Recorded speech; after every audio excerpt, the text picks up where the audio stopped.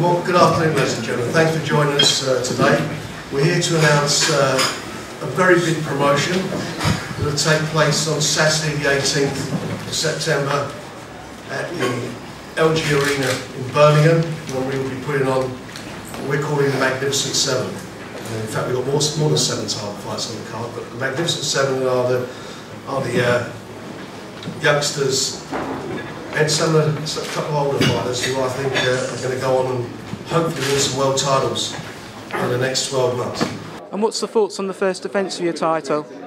Um, I'm looking forward to it. Really excited.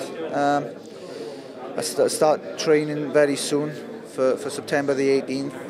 It's, it's going to be a massive night, probably the big. Well, it is. It's going to be the biggest night of my life. So I'm really, really looking forward to this big opportunity for me.